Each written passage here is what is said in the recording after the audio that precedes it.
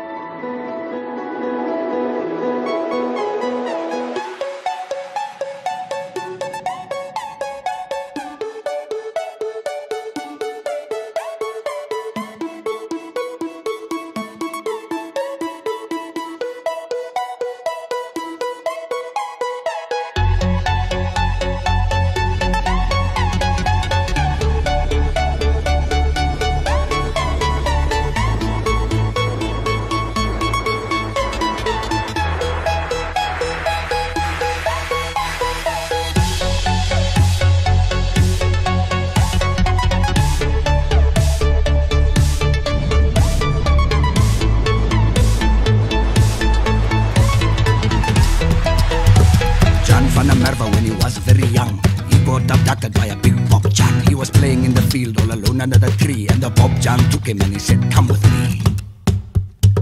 John was scared. He said, Ah, please, Bobbejaan, take me back to my father. I'm his only son. But the Bobbejaan laughed and he said, Ah, please, I will be your father. You will come with me. You will eat like a Bobbejaan, drink like a Bobbejaan, sleep like a real Bobbejaan. You will cry like a Bobbejaan, laugh like a Bobbejaan, run like a real Bobbejaan.